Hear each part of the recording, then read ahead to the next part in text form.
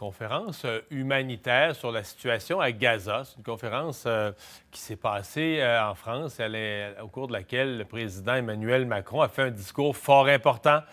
évolution de sa position, a appelé ce qui a été perçu par plusieurs comme un appel plus clair à un cessez-le-feu, proposé aussi 100 millions d'euros d'aide de la France, d'aide humanitaire de la France.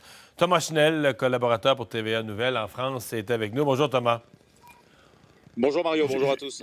Je, comprends que c'est une conférence qui s'est organisée assez rapidement compte, tenu de l'urgence humanitaire à Gaza.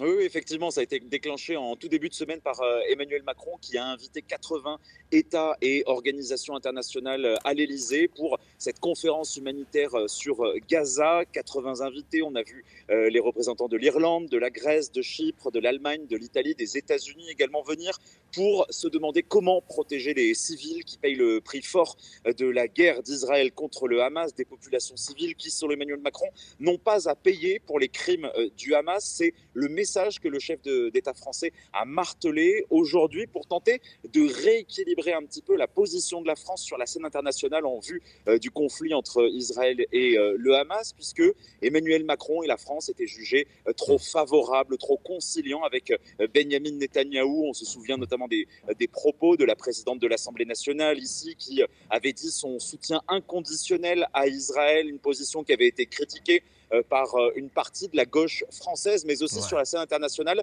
par de nombreux pays arabes qui aujourd'hui n'ont pas envoyé euh, des personnalités de premier plan, mais seulement des délégations diplomatiques hmm. secondaires à ce, sommet qui se déroule à Paris. Est-ce qu'on peut parler d'une évolution importante de la position d'Emmanuel Macron dans le discours qu'il a prononcé aujourd'hui? Oui, effectivement, Emmanuel Macron, il a rappelé, il a dit pour la première fois, justement, il nous faut œuvrer à un cessez-le-feu. C'est la première fois que le président appelle euh, directement à une cessation des, hostilités.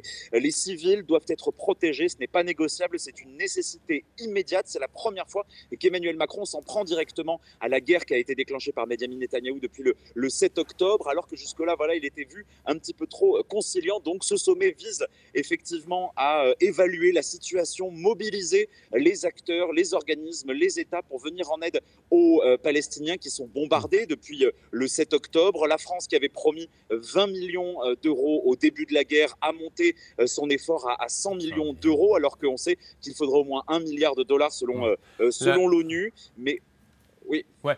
J'allais dire, la, pression, vous avez dit, la, pression internationale des pays arabes, la position d'Emmanuel Macron était perçue comme trop pro-Israël.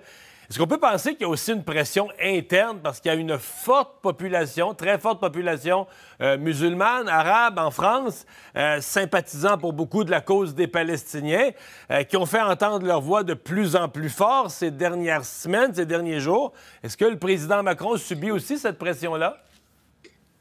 Oui, oui, évidemment, en France, on a vu de très nombreuses manifestations favorables euh, aux Palestiniens qui euh, sont bombardés. On a vu, euh, voilà, ces positions prises par une partie de l'échiquier politique français. Et il y a en France, effectivement, plus de 4 millions de musulmans qui vont peut-être manifester davantage de sympathie à l'égard des populations palestiniennes, qui font pression sur le président de la République, qui marche sur des œufs. Emmanuel Macron, ne peut pas trop se permettre d'afficher un soutien inconditionnel à Israël et il doit également ménager euh, cette partie de la population française davantage favorable euh, aux, populations palestiniennes.